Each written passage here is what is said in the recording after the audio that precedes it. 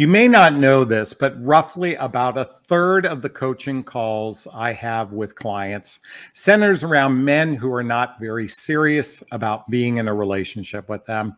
And we spend time analyzing that. So I wanted to dive into some of the signs you can tell early on if he's not serious about you. Now, I want to read to you a meme. I think I've shared this before, but just in case I didn't, I think it's really important to dive into this meme and it simply says it's a quote that says, I no longer want to see where it goes. I want to know exactly where you plan on taking me. Better yet, on taking us. I want to repeat that forever. everyone. I no longer want to see where it goes. I want to know exactly where you plan on taking me, taking us. Have you noticed that it seems like most men these days, when it comes to dating, mating, relating, particularly in midlife, have no real plan on where this relationship is going?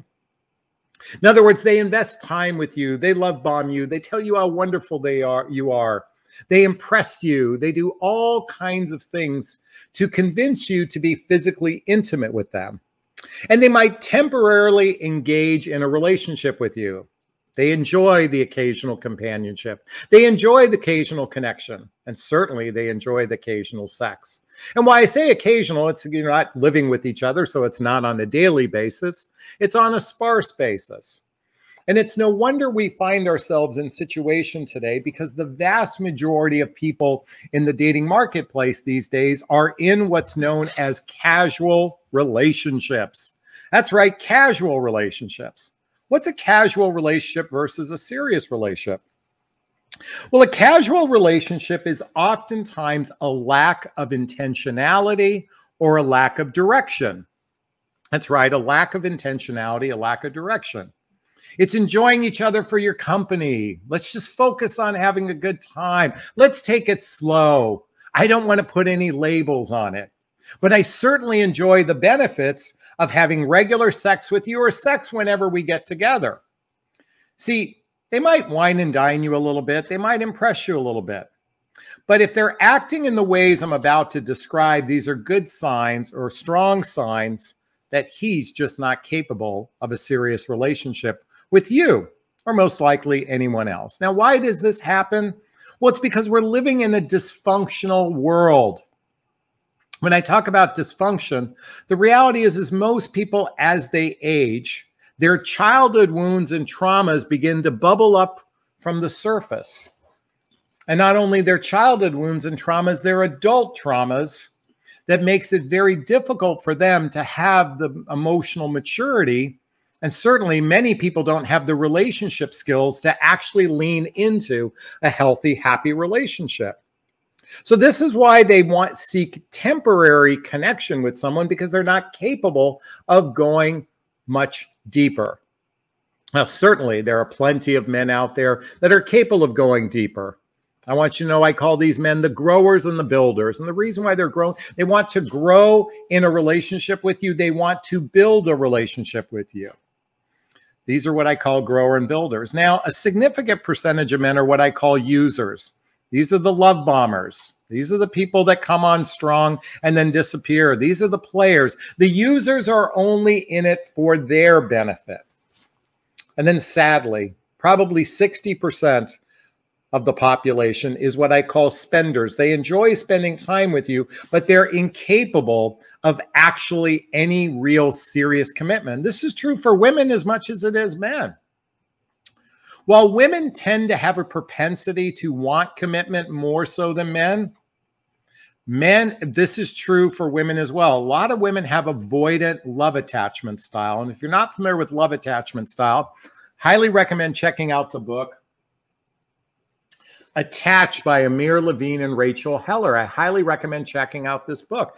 You know, a significant percentage of women and men are known as avoidant love attachment style. In other words, they are fearful of love, and yet deep down inside of them, they want love. And for many women, as well as men, they have weak emotional maturity, weak relationship skills, and they have a difficulty expressing themselves from an emotional perspective. I call these people emotionally constipated. It doesn't mean that they're emotionally unavailable. They just have difficulty expressing their emotions because there's a deep seated fear around giving too much because they feel as though if they give, they're going to lose. So it's no wonder we are suffering today in such a variety of ways. Now, what's the antidote for all of this, folks? Many of you women have what's known as a broken picker, a broken picker. What that means is you've been indoctrinated into the belief that chemistry equals relationship success and dating is all about having a good time. Let's focus on having a good time. Let's just have a good time because that's what dating is all about. I'm here to share with you. Dating is a vetting process to decide if you want to be in relationship with someone. Many of you, as I said earlier, have a broken picker for a variety of different reasons. You might have an unhealthy love attachment style. You might have what's known as the imago, and that's I M A G O. This is discussed in the book uh, by Harville Hendrix and Helen Hunt. The book is called Getting the Love You Want. I highly recommend. Write this down, Imago, I M A G O. By the way, all the books I recommend are in the links below in the description under Jonathon Recommend Books. Why am I bringing this up?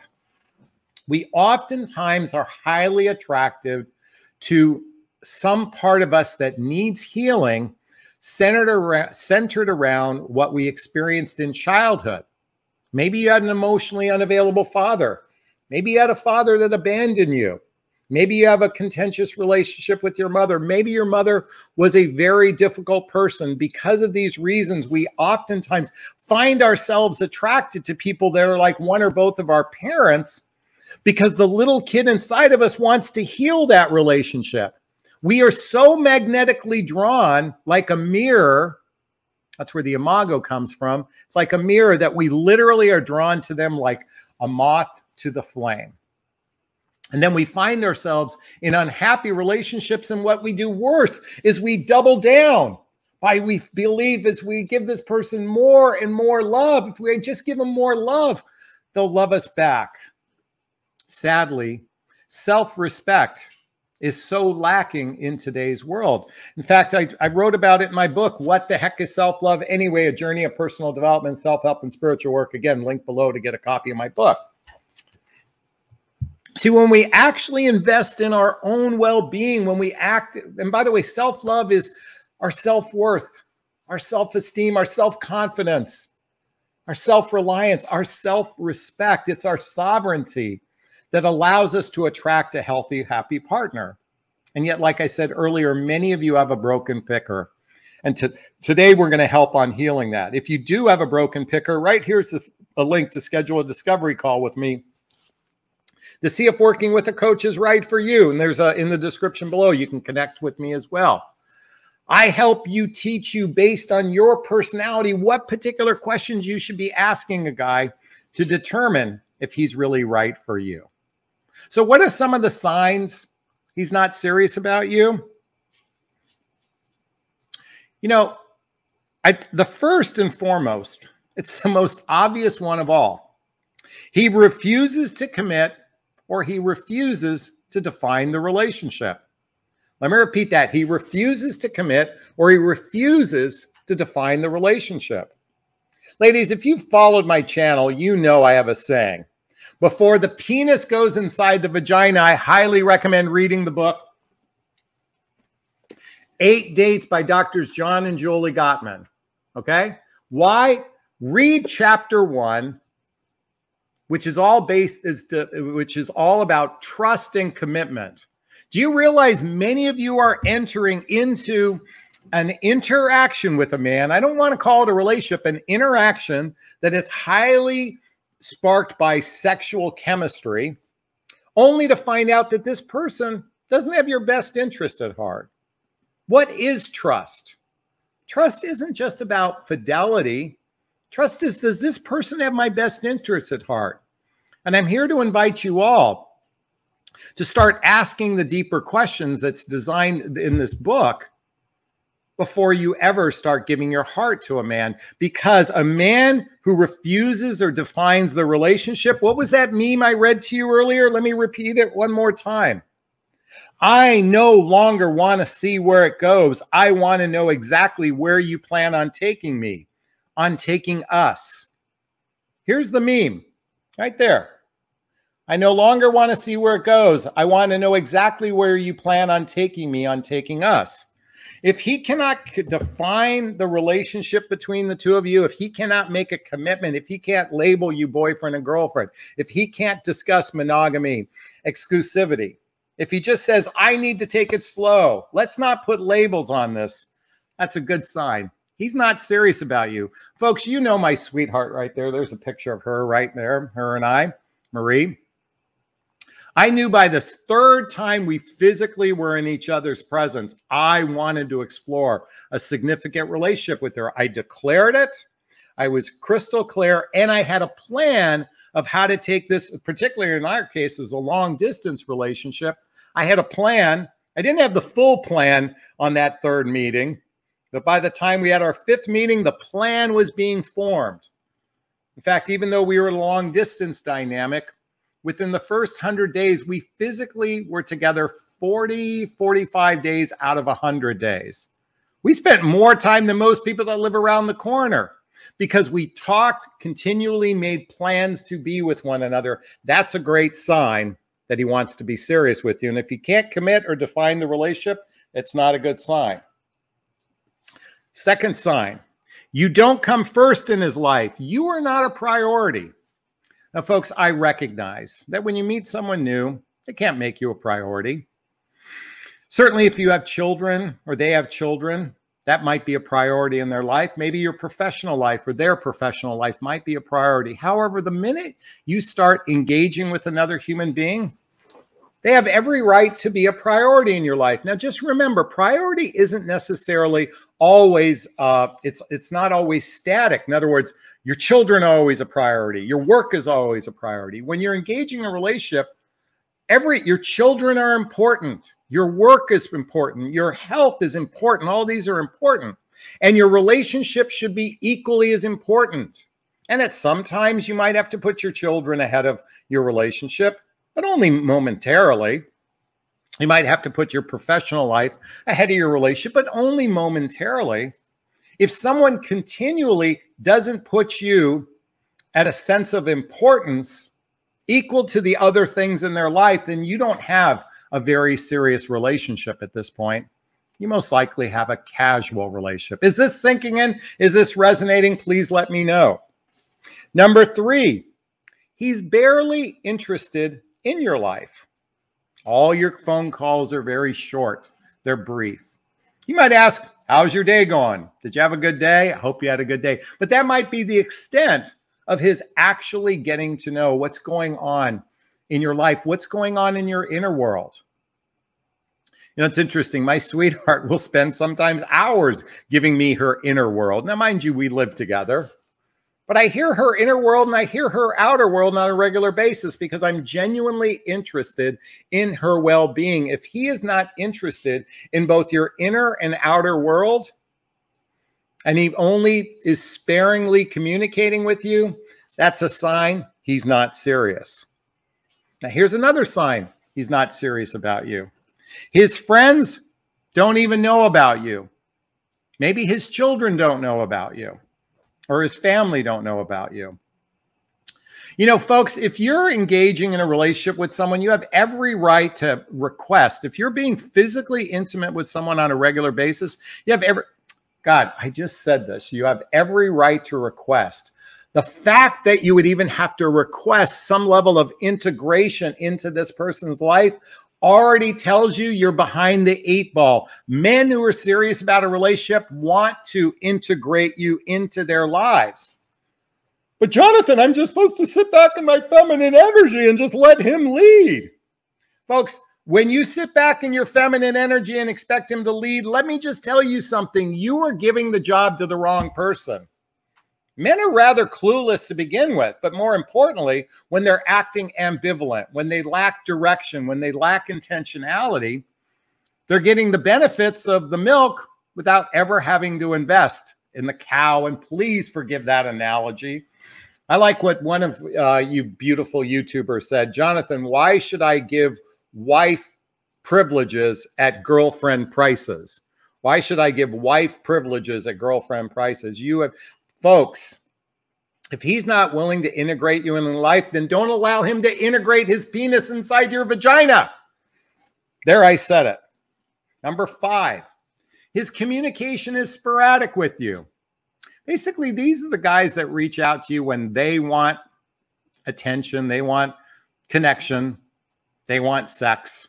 But then their communication is sporadic. Again, this kind of leads into they're not genuinely communicating with you to want to get to know your inner world and your outer world. Their communication is sporadic. And that's a sign he's not very serious about you. Men who are deliberate and serious and intentional and have a plan, they communicate such that you're never second guessing whether or not where this relationship is going. Number six, he avoids sharing his feelings about you or anything in his life. He is, folks, now I, I know you'll hear some dating coaches tell you men only focus on thoughts and not feelings. Believe me, everything a man does it's not necessarily based on logic. It's about how he feels about things. If something feels good, he'll do it. And if something doesn't feel good, he won't do it. It's kind of binary for men. But feelings, if it brings him joy, if it brings him happiness, if it brings him content or uh, content, does it bring him bliss? Does it bring him a sense of peace? Versus anxiety, frustration, confusion. Now, sometimes we deal, deal with men, we might be feeling these things because we don't know how our actions will affect you. But at the same time, keep in mind that a man who's genuinely serious has no problem expressing how he feels about you. And if any man tells you otherwise, that is just BS. That doesn't, doesn't mean he has to vomit uh, feelings of fear and anxiety. No, but expressing their joys and and and focus, or at least um, making decisions based on their feelings. That's how human beings operate. Yes, sometimes we do things logically, but the the logic is all based on how you're going to feel about something. And lastly, number seven, he refuses to talk to you about the future. Says things like, "Well, maybe." a couple years down the road five years down the road, 10 years down the road, we can talk about a serious relationship. Folks, uh, uh, by the way, I've got some good news. Next month, I'm going to have Rabbi Friedman on the channel. This is one of those guys that looks as old as God, okay? Uh, sharing ancient wisdom when it comes to relationships. And I was watching one of his YouTube videos, talks about a man knows within 90 days whether or not he's going to be serious about you, roughly about 90 days. I knew in less than 90 days I wanted to be serious about my sweetheart.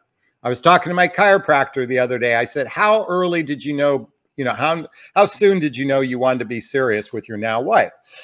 Been married 33 years. He goes, "I knew by the I knew within the first couple weeks I wanted to be serious. You ask any man who's in a healthy, happy relationship right now, how soon did he know he wanted to be serious? They will all tell you, most likely all tell you the same thing within the first 90 days. I officiated a wedding where I got a chance to meet Marie. He said to me, and I quote, it was right at the four month mark that I fell in love with her. So, not quite 90 days. it was probably 100 days in his case. We men know very early on.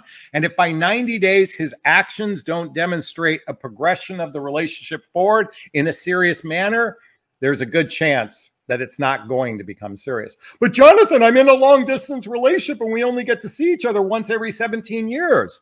Yeah, many of you that are engaged in these incessant communication relationships with people whom you're never going to meet, that's a great way to avoid the real challenges of a relationship that requires face to face communication, face to face contact, face to face physicality to actually navigate and actually build a relationship with someone. Is this sinking in? Is this resonating? Please let me know. All right, those are the seven signs. He's not serious about you. I hope you take heed to this. I hope you remember that if you want to if you want to experience a healthy happy relationship, you have to be at the drive you have to be in the in the driver's seat of your love life. Don't sit in the passenger seat like I say, sit in your feminine energy. You are in charge of your relationship relationship destiny. Don't live that give that job to a man.